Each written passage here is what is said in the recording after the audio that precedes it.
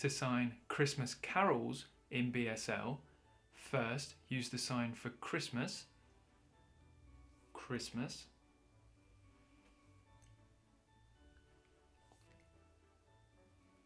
and then the sign for carols is the same as the sign for songs. Extend two fingers on both hands and then form alternating circles away from your mouth. Carols.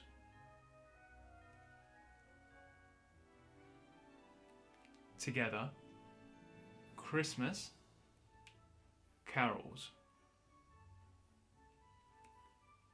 To sign signed songs, extend your fingers and keep them apart, hold them just next to each other, and then rotate your hands in circles for signed.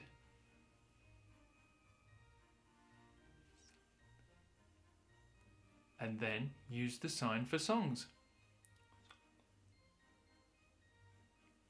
So, signed songs.